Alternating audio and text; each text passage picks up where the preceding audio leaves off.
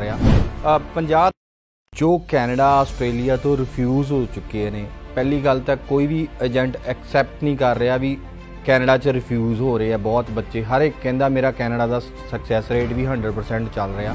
ਅ, 50 ਤੋਂ 60% ਇਹੋ ਜਿਹੇ ਬੱਚੇ ਦੇਖੇ ਖਾਸ ਕਰਕੇ ਵੀ ਜੋ ਪੰਜਾਬ ਰੀਜਨ ਜਾਂ ਹਰਿਆਣਾ ਰੀਜਨ ਤੋਂ ਗਏ ਹੋਏ ਸੀ ਉਹਨਾਂ ਨੇ ਜਾ ਕੇ ਪੜ੍ਹਾਈ ਸ਼ੁਰੂ ਹੀ ਨਹੀਂ ਕੀਤੀ ਯਾਨੀ ਕਿ ਭੱਜ ਗਏ ਉੱਥੋਂ। ਏਜੰਟਾਂ ਵੱਲੋਂ ਵੀ ਇਹੀ ਡੀਲਾਂ ਹੋਈਆਂ ਨਾ ਵੀ ਹਾਂਜੀ, ਤੁਹਾਨੂੰ ਅਸੀਂ ਪਹੁੰਚਾ ਦੇਵਾਂਗੇ, ਯੂਨੀਵਰਸਿਟੀ ਜਾਓ ਚਾਹੇ ਨਾ ਜਾਓ। ਏਜੰਟਸ ਵੱਲੋਂ ਇਹ ਗੁੰਮਰਾਹ ਵੀ ਹਜੇ ਕੀਤਾ ਜਾ ਰਿਹਾ ਵੀ ਤੁਹਾਡਾ 50% ਤੇ ਵੀਜ਼ਾ ਲੱਗ ਜੂ, ਤੁਹਾਡਾ 60% ਤੇ ਵੀਜ਼ਾ ਲੱਗ ਜੂ। ਇਸ ਲਈ ਮੈਂ ਇੱਕ ਗੱਲ ਕਹਿਣਾ ਚਾਹੁੰਦਾ ਵੀ ਉਹੀ ਬੱਚਾ ਅਪਲਾਈ ਕਰੋ ਜਿਹਨੂੰ ਇੰਗਲਿਸ਼ ਆਉਂਦੀ ਆ ਪ੍ਰੋਪਰ ਕਿਉਂਕਿ ਯੂਕੇ 'ਚ ਜਾ ਕੇ ਹੁਣ ਪੜ੍ਹਨਾ ਪੈਣਾ, ਨਹੀਂ ਤਾਂ ਡਿਪੋਰਟ ਹੋਵੋਗੇ। ਯੂਨੀਵਰਸਿਟੀਆਂ ਵੀ ਬਹੁਤ ਸਟ੍ਰਿਕਨੈਸ ਹੋ ਗਈ ਹੈ ਯੂਨੀਵਰਸਿਟੀਆਂ ਨੇ ਏਜੰਟਸ ਜੋ ਉਹਨਾਂ ਦੇ ਰਿਪਰੈਜ਼ੈਂਟੇਟਿਵ ਹੈ ਪੰਜਾਬ ਹੋਵੇ, ਚਾਹੇ ਦਿੱਲੀ ਹੋਵੇ, ਚਾਹੇ ਹਰਿਆਣਾ ਹੋਵੇ, ਉਹਨਾਂ ਨੂੰ ਕਹਿ ਦਿੱਤਾ ਸੀ, ਆਹ ਪ੍ਰੋਫਾਈਲ ਚਾਹੀਦੀ ਆ, ਤੁਹਾਡਾ ਬੱਚਾ ਆਊਗਾ, ਸਾਡੇ ਕੋਲ ਇੱਕ ਪੜਨਾ ਚਾਹੀਦਾ ਅਦਰਵਾਈਜ਼ ਤੁਹਾਡਾ ਐਗਰੀਮੈਂਟ ਸਾਡੇ ਨਾਲ ਕੈਨਸਲ ਹੋ ਜਾਊਗਾ। ਡਿਗਰੀਆਂ ਕਰਦੇ ਆ ਤਾਂ ਵਾਈਟ ਕਾਲਰ ਦੀ ਜੌਬ ਹੁੰਦੀ ਆ। ਬਟ ਅਦਰਵਾਈਜ਼ ਜੇ ਬੱਚਾ ਪੜਨਾ ਹੀ ਨਹੀਂ ਚਾਹੁੰਦਾ, ਤਾਂ ਉਹਦੇ ਇੰਗਲਿਸ਼ ਵੀਕ ਹੈ ਤਾਂ ਆਬਵੀਅਸ ਹੈ ਉਹਨੂੰ ਹੀ ਲੇਬਰ ਕਲਾਸ ਦੀ ਜੌਬ ਮਿਲਣੀ ਆ। ਯੂਕੇ ਜਾਣ ਵਾਲੇ ਬੱਚਿਆਂ ਵਾਸਤੇ ਮੇਰੀ ਹੱਥ ਜੋੜ ਕੇ ਬੇਨਤੀ ਆ ਉਹਨਾਂ ਨੂੰ ਕਿ ਅਗਰ ਤੁਸੀਂ ਕਰਜ਼ਾ ਚੱਕ ਕੇ ਜਾਣਾ ਤਾਂ ਯੂਕੇ ਨਾ ਜਾਇਓ, ਕਿਉਂਕਿ ਯੂਕੇ ਜਾ ਕੇ ਪੜ੍ਹਨਾ ਪੈਣਾ। ਉੱਥੇ ਕੰਮ ਦੀ ਓਪਰਚੁਨਿਟੀ ਆਫਟਰ ਸਟੱਡੀ ਬਹੁਤ ਵਧੀਆ ਹੈ ਬਟ ਨਾਲ ਨਾਲ ਕੰਮ ਕਰੋਗੇ ਨਾ, ਤੇ ਤੁਸੀਂ ਆਪਣੀ ਪੜ੍ਹਾਈ ਨਾਲੋਂ ਟੁੱਟ ਜਾਓਗੇ। ਸੋ ਤੁਹਾਡਾ ਕਿਤੇ ਨਾ ਕਿਤੇ ਪੜ੍ਹਾਈ ਵਾਲਾ ਪੈਸਾ ਵੀ ਖਰਾਬ ਹੋਊਗਾ ਪਲੱਸ ਤੁਹਾਡਾ ਫਿਊਚਰ ਵੀ ਖਰਾਬ ਹੁੰਦਾ ਤੇ ਪਲੱਸ ਤੁਹਾਡੇ ਮਾਪੇ ਵੀ ਦੁਖੀ ਹੋਣਗੇ ਤੁਹਾਡੇ। ਰੋਜ਼ਾਨਾ ਸਪੋਕਸਮੈਨ ਟੀਵੀ ਦੇਖ ਰਹੇ ਸਾਰੇ ਦਰਸ਼ਕਾਂ ਨੂੰ ਪਿਆਰ ਭਰੀ ਸਤਿ ਸ਼੍ਰੀ ਅਕਾਲ। ਦੋਸਤੋ, ਵਿਦੇਸ਼ਾਂ ਵਿੱਚ ਰੋਜ਼ਗਾਰ ਵੀ ਬਹੁਤ ਨੇ, ਸਿੱਖਿਆ ਦਾ ਖੇਤਰ ਵੀ ਬਹੁਤ ਵੱਡਾ ਆ ਤੇ ਜੇ ਭਵਿੱਖ ਦੀ ਗੱਲ ਕਰ ਲਈਏ ਤਾਂ ਭਵਿੱਖ ਵੀ ਬਹੁਤ ਵੱਡੇ ਪੱਧਰ ਤੇ ਜਿਹੜਾ ਕਿ ਬਿਹਤਰ ਹੈ, ਸੁਨਹਿਰਾ ਹੋ ਜਾਂਦਾ ਆ ਤੇ ਜਿਸ ਦੇ ਕਰਕੇ ਵਿਦੇਸ਼ਾਂ ਨੂੰ ਸਾਡਾ ਪੰਜਾਬ ਦਾ ਨੌਜਵਾਨ ਵੱਡੀ ਹੋੜ ਨਾਲ ਬਾਹਰ ਜਾ ਰਿਹਾ। ਲੇਕਿਨ ਹੁਣ ਵਿਪਤਾ ਨੌਜਵਾਨਾਂ ਦੇ ਬਣ ਗਈ ਆ ਕਿਉਂਕਿ ਕੈਨੇਡਾ ਕਿਤੇ ਨਾ ਕਿਤੇ ਪਹਿਲੀ ਜਿਹੜੀ ਕਿ ਚੁਆਇਸ ਹੁੰਦੀ ਸੀ, ਆਸਟ੍ਰੇਲੀਆ ਹੁੰਦਾ ਸੀ, ਪਰ ਉੱਥੇ ਰਿਫਿਊਜ਼ਲ ਬਹੁਤ ਵੱਡੇ ਪੱਧਰ ਤੇ ਲੱਗ ਰਹੇ ਨੇ, ਬਹੁਤ ਵੱਡੇ ਪੱਧਰ ਤੇ ਨੌਜਵਾਨਾਂ ਨੂੰ ਨਿਰਾਸ਼ਾ ਮਿਲ ਰਹੀ ਹੈ। ਲੇਕਿਨ ਸੋ ਇਹ ਨਿਰਾਸ਼ ਨੌਜਵਾਨ ਹੁਣ ਕਰੇ ਕੀ? ਜੇਕਰ ਕੈਨੇਡਾ, ਆਸਟ੍ਰੇਲੀਆ ਰਿਫਿਊਜ਼ਲ ਲੱਗ ਰਹੇ ਨੇ, ਤਾਂ ਕਿਹੜਾ ਰਾਹ ਹੋਰ ਅਪਣਾਇਆ ਜਾਵੇ ਕਿ ਆਪ ਵਿਦੇਸ਼ਾਂ ਵਿੱਚ ਜਾ ਕੇ ਆਪਣਾ ਜਿਹੜਾ ਭਵਿੱਖ ਆ ਉਹ ਬਣਾਇਆ ਜਾ ਕਿਸੇ ਸੋ ਇਹ ਸਾਰੇ ਮੁੱਦਿਆਂ ਤੇ ਗੱਲਬਾਤ ਕਰਨ ਲਈ ਸਾਡੇ ਨਾਲ ਓਮ ਗਲੋਬਲ ਤੋਂ ਰਮਨ ਦੁਸਾਂਝ ਜੀ ਨੇ। ਸੋ ਉਹਨਾਂ ਨਾਲ ਗੱਲਬਾਤ ਕਰਦੇ ਆ ਕਿ ਜਿੰਨੇ ਵੀ ਇਸ ਵਕਤ ਰਿਫਿਊਜ਼ਲ ਲੱਗ ਰਹੇ ਨੇ ਉਹ ਕਿਉਂ ਲੱਗ ਰਹੇ ਨੇ ਤੇ ਜੇਕਰ ਇਸ ਤੋਂ ਇਲਾਵਾ ਨੌਜਵਾਨਾਂ ਲਈ ਹੋਰ ਕਿਹੜੀ ਓਪਰਚੁਨਿਟੀ ਹੈ? ਬਹੁਤ ਬਹੁਤ ਸਵਾਗਤ ਹੈ ਜੀ। ਸਤਿ ਸ਼੍ਰੀ ਅਕਾਲ ਜੀ ਰੋਜ਼ਾਨਾ ਸਪੋਕਸਮੈਨ ਦੇਖ ਰਹੇ ਸਾਰੇ ਦਰਸ਼ਕਾਂ ਨੂੰ ਮੇਰੇ ਵੱਲੋਂ ਪਿਆਰ ਭਰੀ ਸਤਿ ਸ਼੍ਰੀ ਅਕਾਲ। ਰਮਨ ਮੈਂ ਪਹਿਲਾਂ ਜਿਵੇਂ ਗੱਲ ਕਰ ਚੁੱਕਿਆ ਵੀ ਕੈਨੇਡਾ ਬਹੁਤ ਵੱਡੇ ਪੱਧਰ ਤੇ ਰਿਫਿਊਜ਼ਲ ਲੱਗ ਰਿਹਾ, ਕਿਉਂਕਿ ਮੈਨੂੰ ਇੰਨਾ ਕੁ ਪਤਾ ਲੱਗ ਗਿਆ ਸੀ ਕੈਨੇਡਾ ਦਾ ਕਿ ਵੀ ਇੱਕ ਬੰਦੇ ਹੱਥ ਕਮਾਂਡ ਨਹੀਂ ਰਹੀ ਹੁਣ। ਕੋਈ ਮਸ਼ੀਨ ਜਾਂ ਕੰਪਿਊਟਰ ਜਿਹਨੂੰ ਕਹੇ ਸਰਵਰ ਕੰਮ ਕਰਦਾ ਹੈ ਆਸਟ੍ਰੇਲੀਆ ਵੀ ਨਿਰਾਸ਼ਾ ਹੱਥ ਲੱਗ ਰਹੀ ਹੈ ਸੋ ਇਹ ਨਿਰਾਸ਼ਾ ਜਿਹੜੀ ਕਿ ਹੱਥ ਲੱਗ ਰਹੀ ਹੈ ਇਦੋਂ ਬਾਅਦ ਜਿਹੜੇ ਵਿਦੇਸ਼ਾਂ ਨੂੰ ਜਾਣਾ ਚਾਹੁੰਦੇ ਨੇ, ਰੋਜ਼ਗਾਰ ਉੱਥੇ ਕਮਾਉਣਾ ਚਾਹੁੰਦੇ ਨੇ, ਉਹ ਕਿਵੇਂ, ਕਿ- ਕਿੱਥੇ ਜਾਣ ਇਦੋਂ ਬਾਅਦ? ਜੋ ਕੈਨੇਡਾ, ਆਸਟ੍ਰੇਲੀਆ ਤੋਂ ਰਿਫਿਊਜ਼ ਹੋ ਚੁੱਕੇ ਨੇ, ਪਹਿਲੀ ਗੱਲ ਤਾਂ ਕੋਈ ਵੀ ਏਜੰਟ ਐਕਸੈਪਟ ਨਹੀਂ ਕਰ ਰਿਹਾ ਵੀ ਕੈਨੇਡਾ 'ਚ ਰਿਫਿਊਜ਼ ਹੋ ਰਹੇ ਆ ਬਹੁਤ ਬੱਚੇ। ਹਰ ਇੱਕ ਕਹਿੰਦਾ ਮੇਰਾ ਕੈਨੇਡਾ ਦਾ ਸਕਸੈਸ ਰੇਟ ਵੀ 100% ਚੱਲ ਰਿਹਾ। ਬਟ ਤੁਸੀਂ ਅਲਟੀਮੇਟਲੀ ਹਰ ਬੱਚੇ ਦੀ ਚੁਆਇਸ ਪਹਿਲੀ ਡੈਸਟੀਨੇਸ਼ਨ ਕੈਨੇਡਾ ਸੀ ਬਟ ਹੁਣ ਬਹੁਤ ਜ਼ਿਆਦਾ ਰਿਫਿਊਜ਼ਲਸ ਆ ਰਹੀ ਆ। ਉਸ ਤੋਂ ਬਾਅਦ ਆਸਟ੍ਰੇਲੀਆ ਉਸ ਤੇ ਵੀ ਥੋੜਾ ਜਿਹਾ ਸਕੰਜਾ ਕੱਸਿਆ ਗਵਰਨਮੈਂਟ ਨੇ ਉਧਰਲੀ ਨੇ। ਬਟ ਹੁਣ ਆਪਾਂ ਜਿਵੇਂ ਕਿ ਗੋਰਿਆਂ ਦਾ ਮੁਲਕ ਜਿਹਨੂੰ ਕਹਿੰਦੇ ਆ ਉਹ ਹੈ ਇੰਗਲੈਂਡ ਯਾਨੀ ਕਿ ਯੂਕੇ ਯੂਕੇ ਲਾਸਟ 6 ਮੰਥ ਤੋਂ ਵਧੀਆ ਸਕਸੈਸ ਰੇਟ ਵੀ ਵਧੀਆ ਹੈ ਬਟ ਉੱਥੇ ਪੜ੍ਹਾਈ ਦੇ ਆਪਸ਼ਨਸ ਵੀ ਜ਼ਿਆਦੇ ਹੈ। ਅਗਰ ਕਿਸੇ ਨੇ ਪੜ੍ਹਨਾ ਹੋਵੇ ਯੂਕੇ ਪਹਿਲਾਂ 4-5 ਸਾਲ ਪਹਿਲਾਂ ਉੱਥੇ ਪੋਸਟ ਸਟੱਡੀ ਵਰਕ ਵੀਜ਼ਾ ਨਹੀਂ ਸੀ, ਉਹ ਵੀ ਯੂਕੇ ਗਵਰਨਮੈਂਟ ਨੇ ਅਨਾਉਂਸ ਕਰ ਦਿੱਤਾ ਹੈ, ਯਾਨੀ ਕਿ ਪੜ੍ਹਾਈ ਤੋਂ ਬਾਅਦ ਪੋਸਟ ਸਟੱਡੀ ਵਰਕ ਵੀਜ਼ਾ ਵੀ ਮਿਲ ਰਿਹਾ। ਸੋ ਯੂਕੇ ਜੋ ਵੀ ਬੱਚੇ ਨਿਰਾਸ਼ ਹੋ ਚੁੱਕੇ ਆ, ਕੈਨੇਡਾ, ਆਸਟ੍ਰੇਲੀਆ ਤੋਂ ਰਿਫਿਊਜ਼ ਹੋਏ ਆ ਯੂਕੇ ਉਹਨਾਂ ਦੀ ਮੇਨ ਔਨ ਫੋਕਸ ਹੈ ਉੱਥੇ ਜਾਣ ਜਾ ਸਕਦੇ ਉੱਥੇ। ਪਰ ਯੂਕੇ ਦੀ ਗੱਲ ਕਰ ਲਈਏ ਤਾਂ ਪਿਛਲੇ ਇਨਟੇਕ ਮੈਂ ਦੇਖ ਲਵਾਂ ਤਾਂ ਪਿਛਲੇ ਇਨਟੇਕ ਦੇ ਵਿੱਚ ਕਿਤੇ ਨਾ ਕਿਤੇ ਉੱਥੇ ਵੀ ਬੜਾ ਨੁਕਸਾਨ ਜਾਂ ਨੌਜਵਾਨ ਹੱਥ ਨਿਰਾਸ਼ਾ ਯੂਕੇ ਨੂੰ ਲੈ ਕੇ ਵੀ ਹੋਈ ਸੀ। ਨਿਰਾਸ਼ਾ ਦੇਖੋ ਜੀ ਜਦੋਂ ਕੋਈ ਕਿਸੇ ਕੰਟਰੀ ਦੇ ਵੀਜ਼ੇਸ ਓਪਨ ਹੁੰਦੇ ਆ ਯਾਨੀ ਕਿ ਵੀਜ਼ੇ ਓਪਨ ਮੀਨਸ ਲਗਾਤਾਰ ਬੜੀ ਵੱਡੀ ਰਫ਼ਤਾਰ ਤੇ ਵੀਜ਼ਾ ਮਿਲਦਾ ਬਟ ਕਿਤੇ ਨਾ ਕਿਤੇ ਉਸ ਚੀਜ਼ ਦਾ ਮਿਸਯੂਜ਼ ਹੁੰਦਾ ਮਿਸਯੂਜ਼ ਇਦਾਂ ਹੁੰਦਾ ਏਜੰਟਸ ਵੱਲੋਂ ਜਾਂ ਸਟੂਡੈਂਟ ਵੱਲੋਂ ਵੀ ਮਿਸਯੂਜ਼ ਹੁੰਦਾ। ਪਿਛਲੇ ਸਤੰਬਰ ਇਨਟੇਕ ਦੀ ਆਪਾਂ ਗੱਲ ਕਰੀਏ ਬਹੁਤ ਵਧੀਆ ਸਕਸੈਸ ਰੇਟ ਰਿਹਾ ਬਟ ਕਿਤੇ ਨਾ ਕਿਤੇ ਕੀ ਹੋਇਆ ਸਟੂਡੈਂਟ ਉੱਥੇ ਪਹੁੰਚਿਆ ਉੱਥੇ ਪਹੁੰਚ ਕੇ ਯੂਨੀਵਰਸਿਟੀਆਂ 'ਚ ਦਾਖਲੇ ਨਹੀਂ ਲਏ ਗਏ ਇਨਰੋਲਮੈਂਟ ਨਹੀਂ ਕਰਾਈਆਂ ਗਈਆਂ ਯਾਨੀ ਕਿ ਅ, 50 ਤੋਂ 60% ਇਹੋ ਜਿਹੇ ਬੱਚੇ ਦੇਖੇ ਖਾਸ ਕਰਕੇ ਵੀ ਜੋ ਪੰਜਾਬ ਰੀਜਨ ਜਾਂ ਹਰਿਆਣਾ ਰੀਜਨ ਤੋਂ ਗਏ ਹੋਏ ਸੀ ਉਹਨਾਂ ਨੇ ਜਾ ਕੇ ਪੜ੍ਹਾਈ ਸ਼ੁਰੂ ਹੀ ਨਹੀਂ ਕੀਤੀ ਯਾਨੀ ਕਿ ਭੱਜ ਗਏ ਉੱਥੋਂ। ਕੰਮਾਂ ਕਾਰਾਂ ਚ ਲੱਗ ਗਏ। ਕੰਮਾਂ ਕਾਰਾਂ 'ਚ ਲੱਗ ਗਏ ਉਹਨਾਂ ਨੂੰ ਇਹ ਲੱਗਾ ਵੀ ਏਜੰਟਾਂ ਵੱਲੋਂ ਵੀ ਇਹੀ ਡੀਲਾਂ ਹੋਈਆਂ ਨਾ ਵੀ ਹਾਂਜੀ ਤੁਹਾਨੂੰ ਅਸੀਂ ਪਹੁੰਚਾ ਦੇਵਾਂਗੇ ਯੂਨੀਵਰਸਿਟੀ ਜਾਓ ਚਾਹੇ ਨਾ ਜਾਓ। ਉਸ ਤੋਂ ਬਾਅਦ ਕੀ ਹੋਇਆ ਜਨਵਰੀ ਇਨਟੇਕ 'ਚ ਬਹੁਤ ਹੀ ਸਕੰਜਾ ਕੱਸਿਆ ਗਿਆ। ਉਹ ਦੇਖਿਆ ਗਿਆ ਵੀ ਕਿਹੜੇ ਰੀਜ਼ਨ ਤੋਂ ਬੱਚਾ ਜ਼ਿਆਦਾ ਆਇਆ ਕਿਹੜੇ ਰੀਜ਼ਨ ਤੋਂ ਬੱਚਾ ਜ਼ਿਆਦਾ ਭੱਜਿਆ ਪੰਜਾਬ ਤੇ ਹਰਿਆਣਾ ਰੀਜ਼ਨ ਦੇਖਿਆ ਉਹਨਾਂ ਨੇ। ਸੋ ਉਹਨਾਂ ਬੱਚਿਆਂ ਤੇ ਸਕੰਜਾ ਕੱਸਿਆ ਗਿਆ ਜਿਹੜੇ ਵਿਦਆਊਟ ਆਇਲਸ ਜਾਂਦੇ ਸੀਗੇ ਨੰਬਰ ਘੱਟ ਸੀ ਉਥੇ 에ਅਰਪੋਰਟਸ ਤੇ ਇੰਗਲਿਸ਼ ਦੀ ਪ੍ਰੋਬਲਮ ਆਈ। ਸੋ ਥੋੜੀਆਂ ਜਿਹੀਆਂ ਰਿਫਿਊਜ਼ਲਸ ਵੀ ਦੇਖਣੀਆਂ ਮਿਲੀਆਂ ਬਟ ਐਕਚੁਅਲੀ ਚ ਹੁਣ ਜਨਵਰੀ ਤੇ ਫਰਵਰੀ ਚ ਬਹੁਤ ਵਧੀਆ ਰਿਜ਼ਲਟ ਆਏ, ਕਿਉਂਕਿ ਪ੍ਰੋਫਾਈਲਸ ਹੌਲੀ ਹੌਲੀ ਯਾਨੀ ਕਿ ਛਾਣਾ ਲੱਗਦਾ ਗਿਆ ਤੇ ਛਾਣੇ ਵਿੱਚੋਂ ਵਧੀਆ ਪ੍ਰੋਫਾਈਲ ਨਿਕਲਦੀ ਗਈ। ਸੋ ਮਾੜੀਆਂ ਪ੍ਰੋਫਾਈਲਾਂ ਉਹਨਾਂ ਨੇ ਲੈਣੀਆਂ ਬੰਦ ਕਰਤੀਆਂ। ਸੋ ਹੁਣ ਅਗਲਾ ਇਨਟੇਕ ਆ ਰਿਹਾ ਮਈ, ਉੱਥੇ ਵੀ ਇਹੀ ਚੀਜ਼ ਹੋਣੀ ਆ। ਹੁਣ ਉਤੋਂ ਜ਼ਿਆਦਾ ਸਟਿਕਨੈਸ ਹੋ ਰਹੀ ਆ, ਜੋ ਕਿ ਬੱਚਾ ਆਇਲਸ ਕੀਤੀ ਆ ਜਾਂ ਇੰਗਲਿਸ਼ ਚੋਂ ਵਧੀਆ ਮਾਰਕਸ ਹੈ ਉਹੀ ਬੱਚਾ ਅਪਲਾਈ ਕਰ ਯਾਨੀ ਕਿ ਸਕਦਾ। ਪ੍ਰੋਫਾਈਲ ਸਟਰੋਂਗ ਹੋਵੇ। ਤੁਸੀਂ ਸਿੱਧੇ ਤੌਰ ਤੇ ਇਹ ਕਹਿਣਾ ਚਾਹੁੰਦੇ ਹੋ ਵੀ ਜਿਹਦਾ ਆਇਲਸ ਚੋਂ ਚੰਗੇ ਬੈਂਡ ਨੇ ਅੱਛਾ ਕਿੰਨੀ ਰਿਕੁਆਇਰਮੈਂਟ ਹੈ ਵੈਸੇ ਆਇਲਸ ਦੀ? ਵੈਸੇ ਆਪਾਂ ਆਇਲਸ ਦੀ ਉਹਨਾਂ ਦੀ ਰਿਕੁਆਇਰਮੈਂਟ ਇੰਗਲਿਸ਼ ਦੀ ਰਿਕੁਆਇਰਮੈਂਟ ਆ। ਬੇਸਿਕਲੀ ਅਗਰ ਲਾਸਟ 2 ਇਅਰਸ ਤੁਸੀਂ ਪਾਸ ਆਊਟ ਹੋ ਯਾਨੀ ਕਿ 2018 19 ਚ ਪਾਸ ਆਊਟ ਆ ਤੁਹਾਡੇ 70% ਇੰਗਲਿਸ਼ ਚੋਂ ਪਲੱਸ 2 ਚੋਂ ਨੰਬਰ ਨੇ। ਤੁਸੀਂ ਵਿਦਆਊਟ ਆਇਲਸ ਜਾ ਸਕਦੇ ਹੋ। ਅਦਰਵਾਈਜ਼ ਤੁਹਾਡੇ ਕੋਲੇ ਆਇਲਸ ਹੈ 5.5 ਈਚ ਓਵਰਆਲ 5.5 ਤਾਂ ਤੁਸੀਂ ਯੂਕੇ ਜਾ ਸਕਦੇ ਹੋ। ਬਟ ਪ੍ਰੋਬਲਮ ਕੀ ਆ ਐਕਚੁਅਲ ਚ 70% ਨੰਬਰ ਤਾਂ ਪੰਜਾਬ ਬੋਰਡ ਦੇ ਹੁੰਦੇ ਆ, ਪਰ ਇੰਗਲਿਸ਼ ਚ ਪ੍ਰੋਬਲਮ ਹੁੰਦੀ ਆ, ਕਿਉਂਕਿ ਪੰਜਾਬੀਆਂ ਨੂੰ ਇੰਗਲਿਸ਼ ਚੋਂ ਡਰ ਲੱਗਦਾ ਥੋੜਾ ਜਿਹਾ। ਜੇ ਅਗਰ 70% ਨੰਬਰ ਹੈ ਤੇ ਉੱਥੇ ਸਕਾਈਪ ਇੰਟਰਵਿਊ ਵੀ ਹੋਣੀ ਆ। ਸਕਾਈਪ ਇੰਟਰਵਿਊ ਮੀਨਸ ਉਹਨਾਂ ਦੀ ਟੈਲੀਫੋਨਿਕ ਜਾਂ ਸਕਾਈਪ ਇੰਟਰਵਿਊ ਵੀ ਇੰਗਲਿਸ਼ ਚ ਟੈਸਟ ਹੋਊਗਾ। ਸੋ ਬੱਚੇ ਨੂੰ ਕਿਤੇ ਨਾ ਕਿਤੇ ਏਜੰਟਸ ਵੱਲੋਂ ਇਹ ਗੁੰਮਰਾਹ ਵੀ ਹਜੇ ਕੀਤਾ ਜਾ ਰਿਹਾ ਵੀ ਤੁਹਾਡਾ 50% ਤੇ ਵੀਜ਼ਾ ਲੱਗ ਜੂ, ਤੁਹਾਡਾ 60% ਤੇ ਵੀਜ਼ਾ ਲੱਗ ਜੂ। ਇਸ ਲਈ ਮੈਂ ਇੱਕ ਗੱਲ ਕਹਿਣਾ ਚਾਹੁੰਦਾ ਵੀ ਉਹੀ ਬੱਚਾ ਅਪਲਾਈ ਕਰੋ ਜਿਹਨੂੰ ਇੰਗਲਿਸ਼ ਆਉਂਦੀ ਆ ਪ੍ਰੋਪਰ ਕਿਉਂਕਿ ਯੂਕੇ 'ਚ ਜਾ ਕੇ ਹੁਣ ਪੜ੍ਹਨਾ ਪੈਣਾ, ਨਹੀਂ ਤਾਂ ਡਿਪੋਰਟ ਹੋਵੋਗੇ। ਡਿਪੋਰਟ ਮੀਨਸ ਉਹਨਾਂ ਨੇ ਯੂਨੀਵਰਸਿਟੀ ਤੋਂ 10 ਜਾਂ 15 ਦਿਨ ਚ ਰਿਪੋਰਟ ਮੰਗਣੀ ਹੈ ਵੀ ਸਾਡੇ ਬੱਚੇ ਤੁਹਾਡੇ ਕੋਲੇ ਜਿਹੜਾ ਜੋ ਵੀ ਬੱਚਾ ਪਹੁੰਚਿਆ ਉਹ ਪੜਦਾ ਪਿਆ, ਨਹੀਂ ਤਾਂ 20 25 ਦਿਨ ਬਾਅਦ ਡਿਪੋਰਟ ਹੋਣਾ ਜਾਂ ਨਾ ਕਿ ਉੱਥੇ ਰਹਿਣ ਦਾ ਕੋਈ ਹੀਲਾ ਹੋ ਸਕਦਾ ਬਟ ਡਿਪੋਰਟ ਹੀ ਹੋਣਾ ਸਿੱਧਾ ਹੀ। ਰਿਪੋਰਟ ਤੋਂ ਬਾਅਦ ਪਾਬੰਦੀ ਕੀ ਹੈ ਫਿਰ? ਪਾਬੰਦੀ ਹੈ ਵੀ ਵਾਪਸ ਯੂਕੇ ਜੋ ਪੈਸਾ ਲੱਗਾ ਜੋ ਮਾਪਿਓ ਦਾ ਪੈਸਾ ਲੱਗਾ ਸੋ ਉੱਥੇ ਪਹੁੰਚ ਕੇ ਜੋ ਪੈਸਾ ਕੋਈ ਬੱਚੇ ਇਹੋ ਜਿਹੇ ਹੁੰਦੇ ਆ ਜੋ ਜ਼ਮੀਨਾਂ ਵੇਚ ਕੇ ਜਾਂ ਗਹਿਣੇ ਕਰਕੇ ਜਾਂਦੇ ਆ ਸੋ ਉਹ ਵਾਪਸ ਆਉਣਗੇ ਤੇ ਉਹ- ਉਹਨਾਂ ਦਾ ਫਿਊਚਰ ਵੀ ਖਰਾਬ ਹੋ ਰਿਹਾ ਤੇ ਇਸੋ ਮਾਪਿਓ ਵੀ ਜੋ ਉਹਨਾਂ ਦਾ ਪੈਸਾ ਪੂੰਜੀ ਸਾਰੀ ਖਤਮ ਹੋ ਰਹੀ ਹੈ ਸੋ ਵੱਡੇ ਨੁਕਸਾਨ ਇਹ ਹੈ ਕਿ ਜਿੰਨਾ ਵੀ ਤੁਸੀਂ ਧਨ ਜਿਹੜਾ ਜਾਂ ਆਰਥਿਕਤਾ ਮਜ਼ਬੂਤ ਕਰਕੇ ਬੱਚੇ ਨੂੰ ਬਾਹਰ ਭੇਜਦੇ ਹੋ ਉਹ ਕਿਤੇ ਨਾ ਕਿਤੇ ਜਾਂ ਤਾਂ ਪ੍ਰੋਫਾਈਲ ਕਮਜ਼ੋਰ ਹੈ ਜਾਂ ਫਿਰ ਕਿਤੇ ਨਾ ਕਿਤੇ ਕੋਈ ਮਾੜੇ ਏਜੰਟ ਨੇ ਠੱਗੀਬਾਜ਼ ਜਿਹਨੂੰ ਅਸੀਂ ਕਹਿ ਦਿੰਦੇ ਆ ਪੰਜਾਬੀ ਵਿੱਚ ਦੇਸੀ ਭਾਸ਼ਾ 'ਚ ਉਹਨਾਂ ਲੋਕਾਂ ਦੇ ਉੱਤੇ ਚੜ ਕੇ ਤਾਂ ਆਪਣਾ ਜਿਹੜਾ ਕਿ ਆਰਥਿਕ ਪੂੰਜੀ ਹੈ ਆਪਣੀ ਸੰਪਤੀ ਉਹ ਵੀ ਨੁਕਸਾਨ ਤੁਸੀਂ ਕਰਵਾ ਸਕਦੇ ਹੋ। ਸੋ ਸਤਰਕ ਰਹਿਣਾ ਚਾਹੀਦਾ ਹੈ। ਸਪੋਕਸਮੈਨ ਟੀਵੀ ਇਸ ਚੀਜ਼ ਨੂੰ ਲੈ ਕੇ ਹਮੇਸ਼ਾ ਤੁਹਾਨੂੰ ਸਾਵਧਾਨ ਕਰਦਾ ਰਹਿੰਦਾ ਹੈ ਤੇ ਅਜਿਹੀਆਂ ਇੰਟਰਵਿਊ ਤੁਹਾਡੇ ਸਾਹਮਣੇ ਲਿਆਉਂਦਾ ਰਹਿੰਦਾ ਹੈ ਕਿ ਜੋ ਅਹ, ਠੱਗੀਬਾਜ਼ ਲੋਕ ਨੇ ਉਹਨਾਂ ਤੋਂ ਬਚਿਆ ਜਾ ਸਕੇ। ਅੱਛਾ ਅੱਗੇ ਗੱਲ ਕਰਦੇ ਹਾਂ। ਤੁਸੀਂ ਪਹਿਲਾਂ ਹੀ ਗੱਲ ਕਰਤੇ ਏਜੰਟਾਂ ਦਾ ਕੁਝ ਏਜੰਟਾਂ ਦਾ ਇਹ ਕੰਮ ਹੁੰਦਾ ਵੀ ਤੁਹਾਨੂੰ ਬਾਹਰ ਭੇਜ ਦਾਂਗੇ ਉਹ- ਉੱਥੇ ਜਾ ਕੇ ਤੁਸੀਂ ਕਰਨਾ ਜੋ ਕਰਨਾ। ਪਰ ਜਿਵੇਂ ਹੁਣ ਤੁਸੀਂ ਗੱਲ ਕੀਤੀ ਆ ਕਿ ਸਖਤਾਈ ਹੋ ਰਹੀ ਹੈ ਯੂਕੇ ਦੇ ਵਿੱਚ ਸਖਤਾਈ ਹੋ ਰਹੀ ਆ ਸੋ ਉਹਦੇ ਨਾਲ ਤਾਂ ਪ੍ਰੋਫਾਈਲ ਦੇ ਫ਼ਰਕ ਤਾਂ ਪਊਗਾ ਪਊਗਾ ਨਾ ਪ੍ਰੋਫਾਈਲ ਤਾਂ ਚੈੱਕ ਕਰਨਗੇ ਕਰਨਗੇ, ਵੀ ਉਹਨਾਂ ਨੂੰ ਪਤਾ ਲੱਗੂਗਾ ਵੀ ਇਹ ਬੱਚਾ ਪੜ੍ਹਨਾ ਚਾਹੁੰਦਾ ਆ ਜਾਂ ਇਹ ਬੱਚਾ ਸਿਰਫ ਇੱਥੇ ਵੀ ਇੱਕ ਏਜੰਟ ਥਰੂ ਆ ਰਿਹਾ, ਬਾਹਰ ਆ ਰਿਹਾ ਤੇ ਉਹਨੇ ਆ ਕੇ ਕੰਮ ਕਰਨਾ ਯੂਨੀਵਰਸਿਟੀ 'ਚ ਨਹੀਂ ਜਾਣਾ।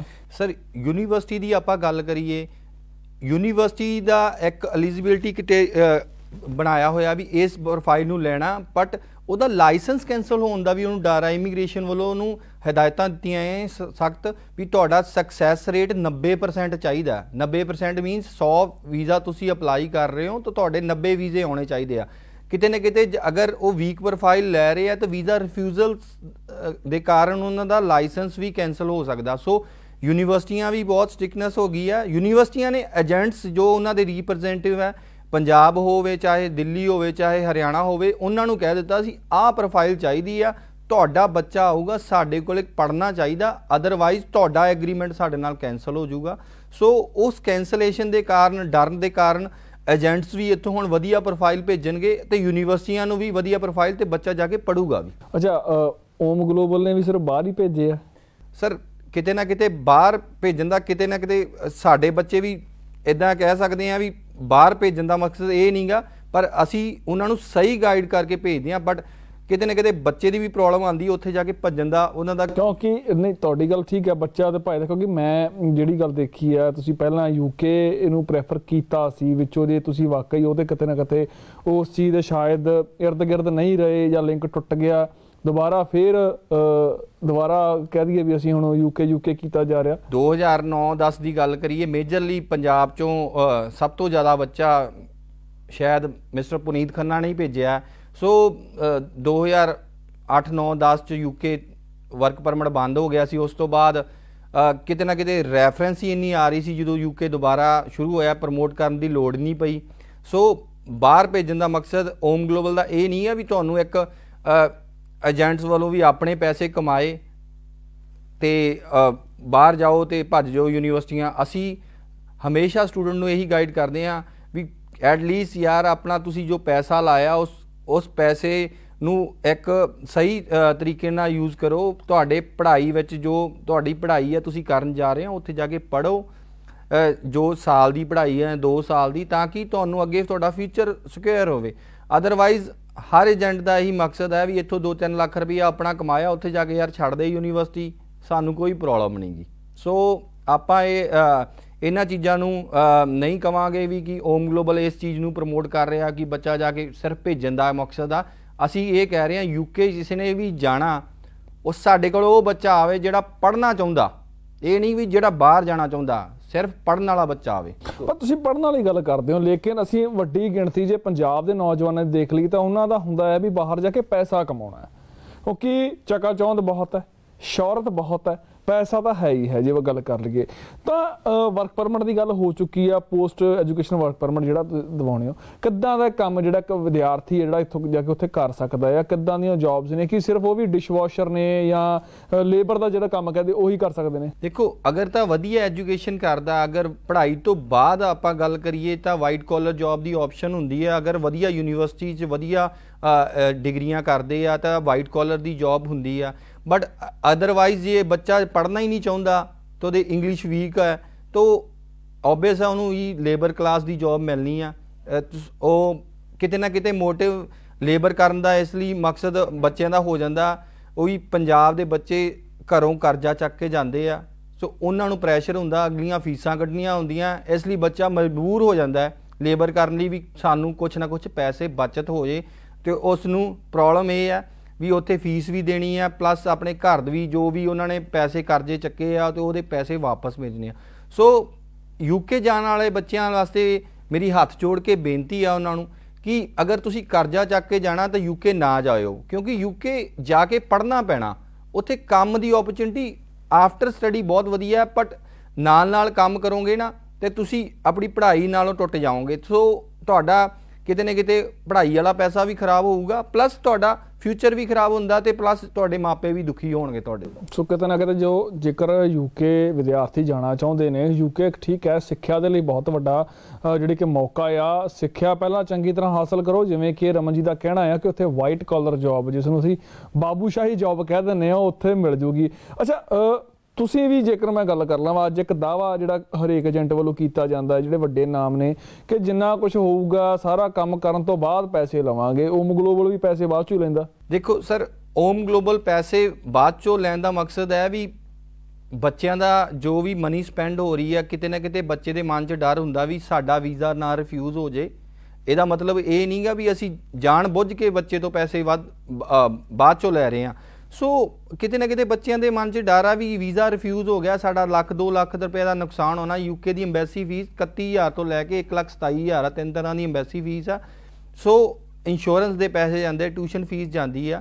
ਬਟ ਅਗਰ ਬੱਚਾ ਖੁਦ ਫੀਸਾਂ ਭਰਨਾ ਚਾਹੁੰਦਾ ਤੇ ਖੁਦ ਫੀਸਾਂ ਵੀ ਭਰ ਸਕਦਾ, ਆਪਣੀ ਇੰਸ਼ੋਰੈਂਸ ਖੁਦ ਕਰ ਸਕਦਾ ਹੈ ਐਮਬੈਸੀ ਫੀਸ ਦੋਨੇ ਆਪਸ਼ਨਾਂ ਓਮ ਗਲੋਬਲ ਕੋਲ ਅਵੇਲੇਬਲ ਹੈ ਅਗਰ ਬੱਚਾ ਚਾਹੁੰਦਾ ਫੀਸ ਆਫਟਰ ਵੀਜ਼ਾ ਦੇਣਾ ਫੀਸ ਆਫਟਰ ਹਾਂ, ਮੈਂ ਇੱਕ ਗੱਲ ਜ਼ਰੂਰ ਕਹਿਣਾ ਚਾਹਾਂਗਾ ਫੀ ਆਫਟਰ ਵੀਜ਼ਾ ਦਾ ਮਤਲਬ ਇਹ ਨਹੀਂ ਵੀ ਸਾਰਾ ਕੁਝ ਆਫਟਰ ਵੀਜ਼ਾ ਫੰਡ ਤੁਹਾਡੇ ਆਪਣੇ ਹੋਣੇ ਚਾਹੀਦੇ ਆ। ਫੰਡ ਮੀਨਸ ਜੋ ਯੂਕੇ ਲਈ ਲਿਵਿੰਗ ਐਕਸਪੈਂਸ ਦਿਖਾਣੇ ਆ 16 ਤੋਂ 17 ਲੱਖ ਰੁਪਏ ਦੇ ਦਿਖਾਣੇ ਆ, ਉਹ ਤੁਹਾਡੇ ਆਪਣੇ ਹੋਣੇ ਚਾਹੀਦੇ। ਓਮ ਗਲੋਬਲ ਉਸ 'ਚ ਤੁਹਾਡੀ ਕੋਈ ਵੀ ਹੈਲਪ ਨਹੀਂ ਕਰੇਗਾ। ਰਮਨ ਜੀ ਤੁਸੀਂ ਇਹ ਇਹ ਸਾਫ਼ ਕਰਤਾ ਕਿ ਉਹਦੇ ਵਿੱਚ ਓਮ ਗਲੋਬਲ ਕੋਈ ਹੈਲਪ ਨਹੀਂ ਕਰਦਾ ਫੰਡ ਦੇ ਵਿੱਚ। ਲੇਕਿਨ ਬਹੁਤ ਸਾਰੇ ਏਜੰਟ ਅਸੀਂ ਇਹ ਵੇਖਿਓ ਫੰਡ ਆਪਦੇ ਵੀ ਸ਼ੋਅ ਕਰਨ ਨੂੰ ਕਹਿੰਦੇ ਨੇ ਫੰਡ ਅਸੀਂ ਸ਼ੋਅ ਕਰ ਦਾਂਗੇ ਸਾਨੂੰ ਮੁਲਾਕਾਤ ਕਰੋ ਹਰ ਹੀਲਾ ਕਰ ਲਾਂਗੇ। ਉਹ ਫਿਰ ਕੀ ਹੈ? ਉਹ ਚੀਜ਼ ਕੀ ਸਰ ਹੈ? ਦੇਖੋ ਉਹਦੀ ਨਤੀਜਾ ਨਾ ਜਦੋਂ ਫੰਡਾਂ ਦਾ ਨਤੀਜਾ ਆਫਟਰ 2 ਇਅਰ ਜਾਂ 3 ਇਅਰਸ ਬਾਅਦ ਤੁਹਾਨੂੰ ਪਤਾ ਲੱਗਣਾ ਬੱਚੇ ਨੂੰ ਜਦੋਂ ਉਹਦੇ ਨੇ ਵੀਜ਼ਾ ਐਕਸਟੈਂਸ਼ਨ ਪਾਣੀ ਆ ਵੀ ਫੰਡ ਕਿੱਥੋਂ ਆਏ ਸੀ ਕਿੱਦਾਂ ਆਏ ਸੀ ਕਿਹੜੇ ਫੰਡ ਲੱਗੇ ਸੀ ਸੋ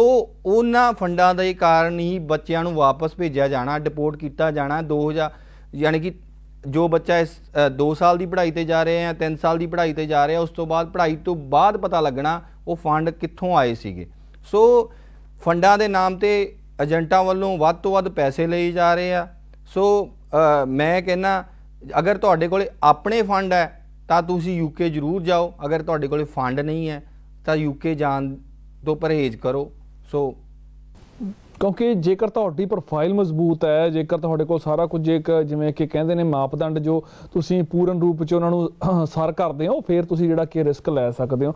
ਮੇਰਾ ਅਖੀਰਲਾ ਸਵਾਲ ਹੈ ਜੀ ਯੂਕੇ ਦੇ ਵਿੱਚ ਇਸ ਟਾਈਮ ਜੇ ਸਖਤਾਈ ਦੀ ਗੱਲ ਕਰ ਲਈਏ ਤਾਂ ਰਿਸਕ ਫੈਕਟਰ ਕਿੰਨਾ ਕਰ ਰਿਫਿਊਜ਼ਲ ਨੂੰ ਲੈ ਕੇ ਚਾਹੇ ਪ੍ਰੋਫਾਈਲ ਜਿੰਨੀ ਮਰਜ਼ੀ ਸਟਰੋਂਗ ਹੋਵੇ।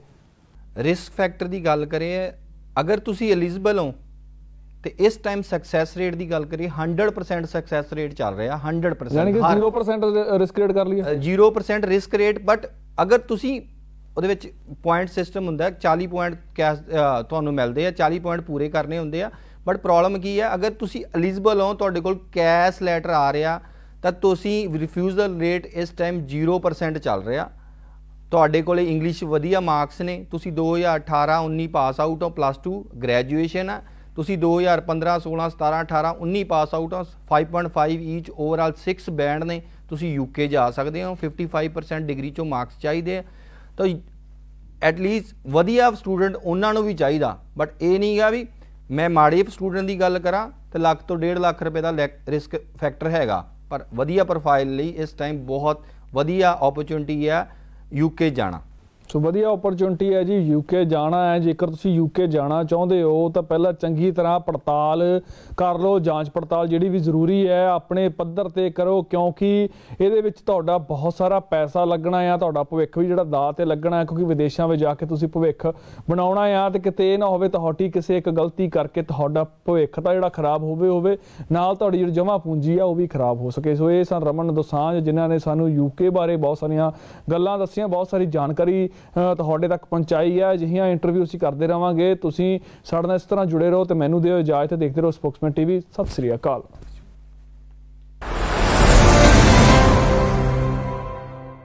ਜੋ ਕੈਨੇਡਾ ਆਸਟ੍ਰੇਲੀਆ ਤੋਂ ਰਿਫਿਊਜ਼ ਹੋ ਚੁੱਕੇ ਨੇ ਪਹਿਲੀ ਗੱਲ ਤਾਂ ਕੋਈ ਵੀ ਏਜੰਟ ਐਕਸੈਪਟ ਨਹੀਂ ਕਰ ਰਿਹਾ ਵੀ ਕੈਨੇਡਾ 'ਚ ਰਿਫਿਊਜ਼ ਹੋ ਰਹੇ ਆ ਬਹੁਤ ਬੱਚੇ। ਹਰ ਇੱਕ ਕਹਿੰਦਾ ਮੇਰਾ ਕੈਨੇਡਾ ਦਾ ਸਕਸੈਸ ਰੇਟ ਵੀ 100% ਚੱਲ ਰਿਹਾ। ਅ, 50 ਤੋਂ 60% ਇਹੋ ਜਿਹੇ ਬੱਚੇ ਦੇਖੇ ਖਾਸ ਕਰਕੇ ਵੀ ਜੋ ਪੰਜਾਬ ਰੀਜਨ ਜਾਂ ਹਰਿਆਣਾ ਰੀਜਨ ਤੋਂ ਗਏ ਹੋਏ ਸੀ, ਉਹਨਾਂ ਨੇ ਜਾ ਕੇ ਪੜ੍ਹਾਈ ਸ਼ੁਰੂ ਹੀ